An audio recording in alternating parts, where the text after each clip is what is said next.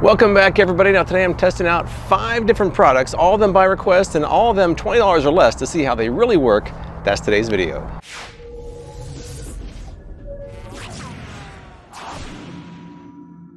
So because I'm squeezing five products into one video, this won't be quite as extensive as some of my other videos are, but I kind of pick products that don't require extensive reviewing anyways. So in this video, I'm gonna show you my initial test, and at the very end, I'll update you and let you know if anything changes. My first two gadgets are kind of tested together, so let's check out the USB phone fan and the French fry ketchup holder.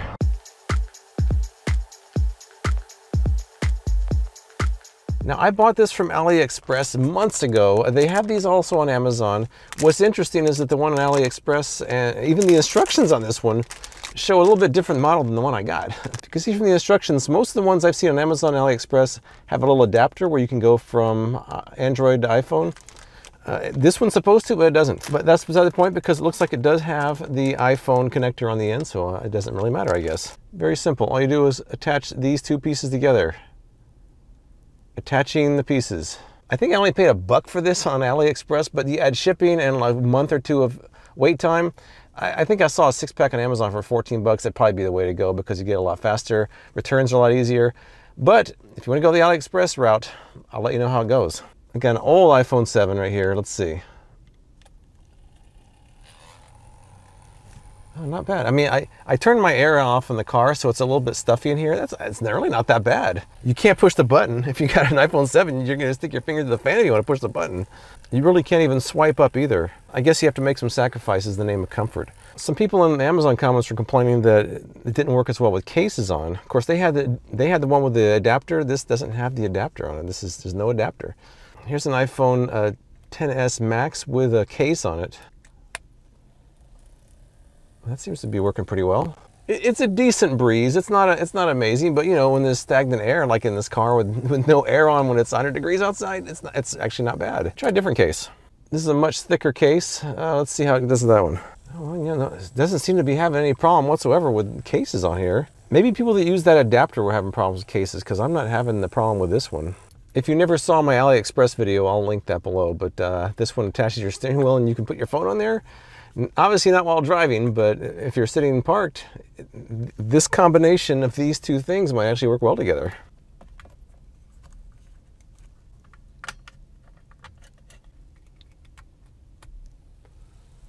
i have a full charge on my phone, so that should not be an issue. I'm gonna let the fan blow while I'm reviewing my next product, and I'm gonna let it sit there and see how it goes.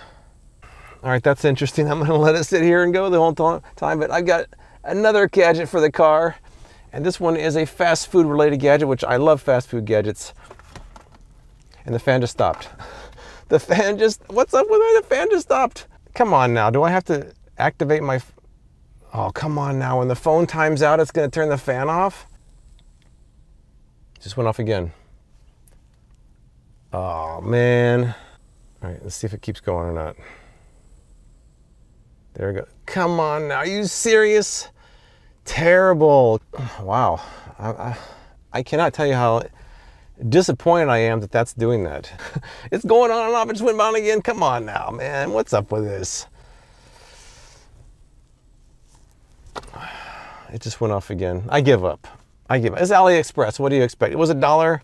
Well, let me let me get to the next gadget while this disappointing fan keeps turning on and off every time my phone turns off.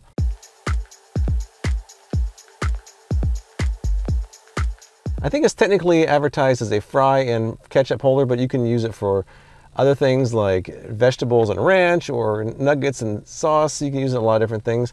This actually fits right into a cup holder for the car. Very nice. I've got some uh, some medium fries from McDonald's. You know, I'm not a huge McDonald's fan, but their fries are probably still the best. The only way you're going to take advantage of this is to dump these in there. This part comes out. So there's two slots in there where it slides into. So I guess you could put your fries in there, but then you're not going to be able to put the, this in here without it kind of smashing the fries. So I think you need to put the, this in first. So we put it in there. I guess I'm just going to kind of dump them like this. Hopefully I don't make too much of a mess. Oh, not, not, not too bad, I guess. Not as easy as it seems when you're not looking. I didn't think that french fries and ketchup could be displayed so nicely, but it's nicely displayed. When I do splurge at McDonald's, I usually get something like chicken nuggets with hot mustard sauce. I don't eat it often, but when I do, I enjoy it. Now you might think, where's he going to put his uh, hot mustard sauce? Well, good thing I've got my Saucemoto dip clip from a previous review, which I'll also link that below. Uh, I will show you how this works, even though this is not really part of this video. All right, so the Saucemoto dip clip goes right on your vent, like this. I think this was on Shark Tank. I think it was on Shark Tank, but it was. I, have used it for. I actually use this once in a while. Then you can drop your uh, dipping sauce right in there. Now I've got my chicken nuggets and dipping sauce here. I've got my fries and my ketchup there. And you know what? What's weird? Going back to my fan for a second, the fan hasn't shut off now. It's it's been going for the whole time. I don't know why it was shutting off so much before. Now it's going continuously. So, but I digress. Let me get back to the French fry holder here. I mean, once you get that in there, it's pretty basic. I mean, you just take your fries out and dip them. There's not not really much to say about that. There we go. If I have any minor complaints, it's that the the dipping area is kind of narrow. I'm, I'm nitpicking. I'm looking for things to complain about. It almost makes your french fries look kind of high class, doesn't it? It's pretty basic. It works pretty much as it's supposed to. It holds a medium fry. I don't think it would hold a large fry. This is a medium fry from McDonald's. It's kind of full. Actually, I had to eat a few pieces to get them out of the way, so I don't think it's gonna hold more than that. Going back to my fan here, it's been running nonstop for about five minutes, so I'm kind of happy about that.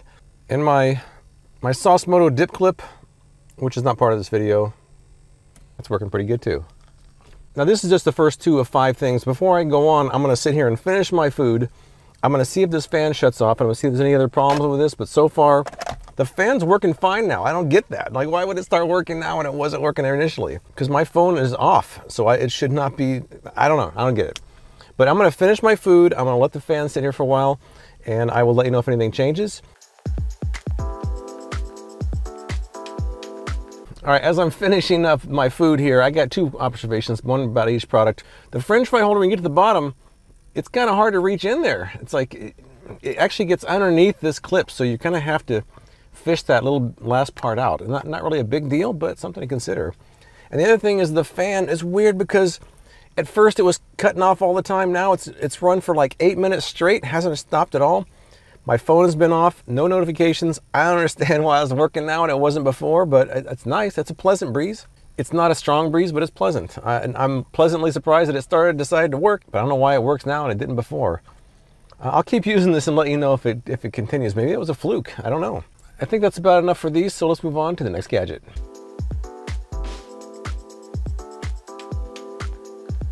These are called the food huggers.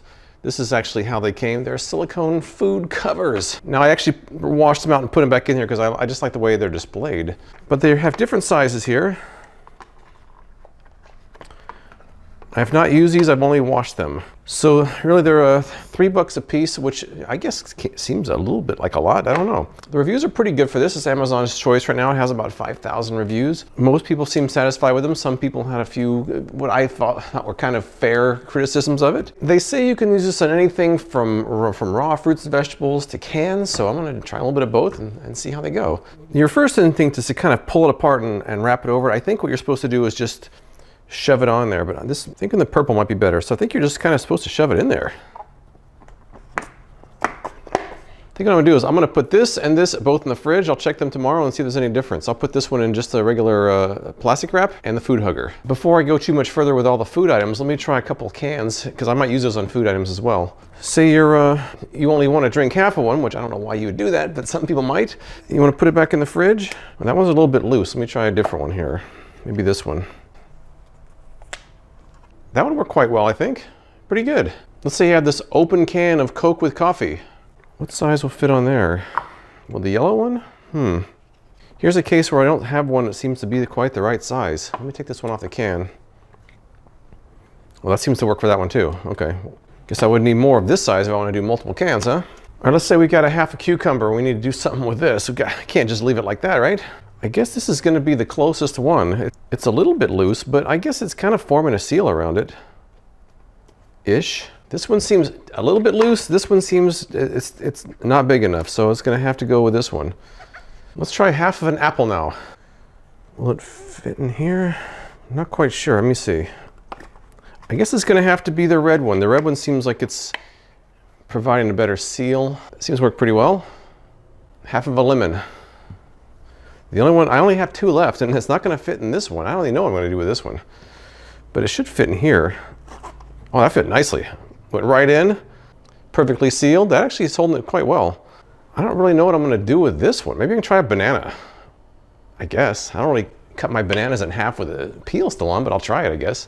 I, I never prepare my bananas like this, but some people might. And those people might need something like this if they're going to save their banana for the next day. All right, I think it's, it's working. That seemed to work. So let's take a look at what we got here. Oh, you can even stand it up. It's actually kind of cool. All right, this is what we got. I think that so far that my first impression is actually pretty good. It seems like it, not everything's gonna fit in there. Some, some things are kind of in between sizes, but overall it looks pretty good. I'm gonna put these in the fridge and with their counterparts just put in plastic wrap and check them tomorrow. But otherwise, I think it works pretty well. It's a bit strange, but it's also a bit oddly satisfying. So we'll see uh, tomorrow how these go. All right, it's been 24 hours. Let's check it out. I should also point out that I tried different uh, ways of putting them in the fridge. You can actually stack these. I'm not sure if you're supposed to, but it, it seemed to work out. So uh, that does add a little bit of an extra feature to it if you can actually stack something that's not normally stackable. This is the plastic wrap banana, a little bit of brown, not terrible. Let's try the food huggers now. Plastic wrap off. It's pretty similar. Uh, plastic wrap, food huggers, it's, a, it's about the same. Something to point out is you do have to clean out the inside of the food huggers, which we don't have to do with plastic wrap, but plastic wrap is wasteful and this is not. I don't expect much from lemon because they would hold up overnight anyways. These, these hold up for a long time anyways, but plastic wrap, food huggers, about the same. Cucumbers. Plastic wrap, food huggers, not much difference, once again. All right, here's the apple on the plastic wrap, doesn't look too bad really. And food huggers. Oh, wait, do we have a difference? Oh, maybe not. they look pretty close. I thought maybe the food huggers was gonna come out on top. Uh, it's no worse than plastic wrap. They're, they're virtually identical. Depending on how you look at it, the fact that these have all been identical could be good or bad. You know? I'm trying to see the bright side. The bright side is there's no waste with these. So, you know, they're kind of expensive though. So kind of a balance. And finally the tomato in plastic wrap looks fine. Food huggers, oh, I gotta clean that out. There's a bunch of tomato juice in the bottom there. They're identical. Plastic wrap, food huggers. All right, well, I think there was pretty much a tie across the board. So depending on what you're looking for is whether that's a good thing or not. If you don't want to create a lot of waste, you don't mind the one-time investment, food huggers probably be good for you. If you don't mind using plastic wrap, then I don't see why you'd want to switch. On the other hand, you can stack foods that are not normally stackable with a food hugger, so that's another thing to consider as well. To me, I think they work. I, I kind of like them. They might be a little bit expensive, but to me, the food huggers do what they're supposed to do, so they live up to the advertising hype.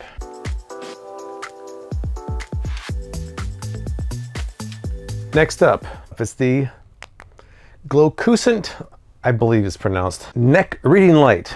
Uh, this is a, one of the highest rated items I've ever seen on Amazon. As of this filming, it's got 36.7 thousand reviews, 4.7 star rating. Amazon's choice, I have a lot of requests for it. There's even an as seen on TV similar model called the Lizard Light. I'm not sure if that's going to take off or not, but I've seen that one advertised as well. So let me go over the features of the Glocusent, Glocusent, Glocusent, Glocusent neck light. All right, so there's buttons on either side, so you can actually control these one at a time. You can go low, medium, high, off, low, medium, high, off. And there's also a button way back here which changes the color of it. You've got, it's kind of an amber, like a warmer light and a cooler light. That's actually a pretty nice feature that you can change the, the warmth of the light itself. Let me put on a magazine here and see how it looks. Oh, it's very bright. Let me see. It's where you can have one on low and one on high. See, I have low, high. Well, that's very bright. It works quite well. You can see me pretty well on the camera, but I actually got the settings cranked in there. It's pretty dark in here, so. Yeah, I can read this fine. I don't even I don't even need my reading glasses, which I might need when if it's kind of dark. So, wow, that works quite well. The other thing I should point out also is that this is very adjustable. Pretty much any angle you can adjust it. You can adjust it like this. You can adjust it like that. It pretty much adjusts at any angle you want. You can make it really wide, you can make it narrow.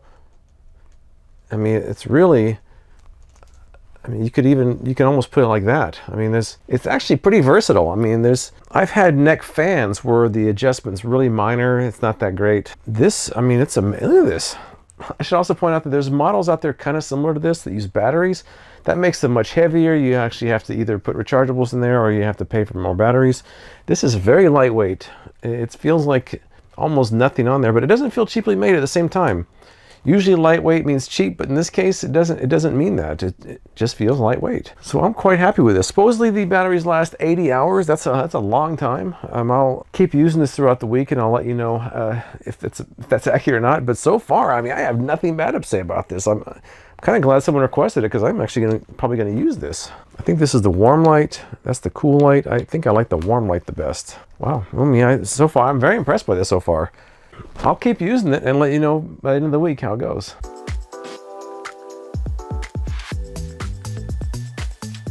All right, this is the up-down light. This is an as seen on TV product. It's a motion-activated light that actually has a light that points up or down or both. It's also on Amazon. I got it for 15 bucks. Uh, let's take a closer look at this before I get started. Uh, the first thing I noticed when I opened it up, I was a bit disappointed. I thought this was something that plugged into the wall, and this is just tape. Come on, man. I don't want to tape it to my wall. Anyways, so uh, open it up here, it takes, takes uh, I think three AAA batteries, not included. They do give you some mounting screws, which I am not going to use. Uh, but there isn't really much to it besides that. I'll put some batteries in here. You have, on this side, you have off, auto, and on. Auto is for motion detection, on just stays on all the time. And on this side, you just have the selector, which goes if you want up, down, or both. Uh, the motion detection supposedly uh, has about a 10 foot range, and I think the light stays on for approximately 20 seconds. According to the instructions, the brightness of the lights is about 32 lumens, so not really bright, more like a, I would say more like a night light. It's also for indoor use only. So yeah, I'm not gonna put this on my wall, not with this tape. I'll go get some mounting strips and use those. I've already had my share of these types of taped products damaging my walls. Oh man. Let's see. Oh no. I'm probably gonna get some mounting strips so I can move it in case I don't like the location I put in. So let me do that and then test this out tonight. Well, this was a spot I originally had picked out for it, I, not realizing that you don't plug it in the wall. So I'm just gonna put it right above this outlet and uh, use it right here. This is a good spot, so I want to use it right here. Now these command strips usually hold much heavier items, so I'm not worried about this falling off. So I'm putting the command strips right on the back, so it'll be easy to remove. All right, we'll try to center it here. okay, just testing it when it's turned on without the motion detection. Let's check it out. All right, up, down, both.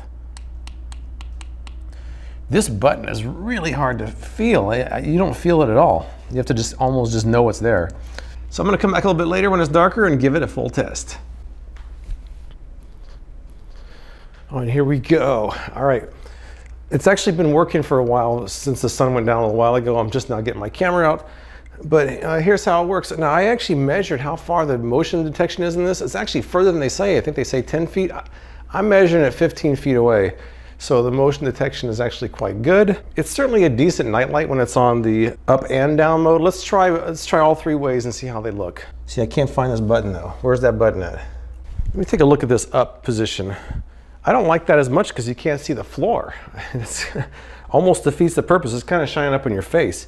Let me try the down light. Now down, I actually think that makes more sense because it's actually on the floor. I kind of like both best. Let me show you close up with this. Right here is both up and down. Looks pretty good. Now see, the just the down makes sense because it's illuminating the floor, which is what you want to see if you're using it as a night light, which I assume you are. See, as you can see, when it's when it's on the uh, up mode, the floor is still dark. It's kind of shining your face. It's almost counterproductive. It makes it harder to see where you're going, not, not easier. So that's kind of that's kind of bad.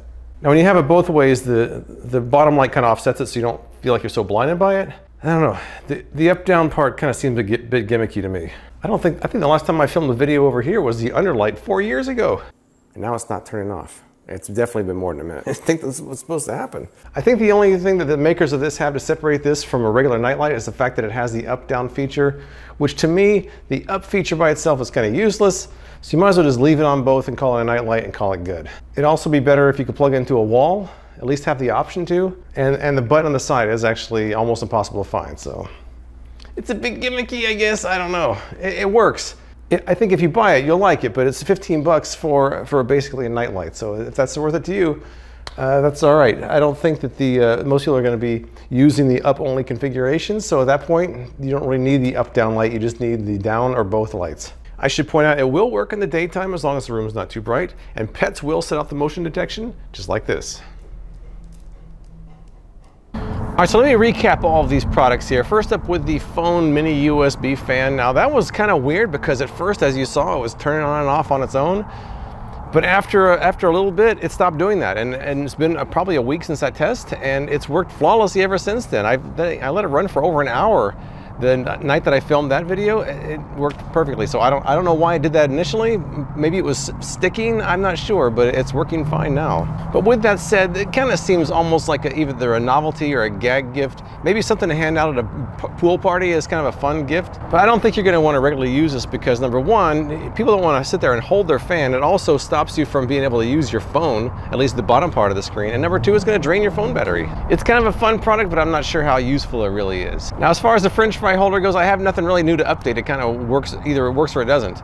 Uh, it's a nice looking item. It, it, displays your french fries and ketchup nicely if you ever need to do that.